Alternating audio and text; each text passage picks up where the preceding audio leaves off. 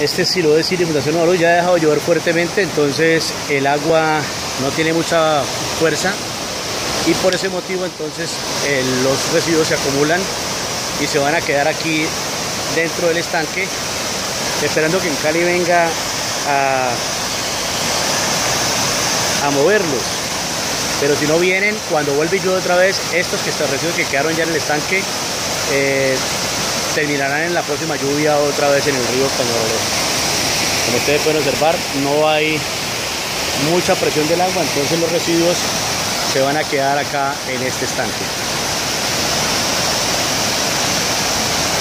Martes Santo 27 de marzo de 2018. Los residuos van a quedar porque aunque esté brisando no hay fuerte lluvia en la parte alta, entonces no hay fuerza para que el agua se traiga, los residuos quedan en el tanque.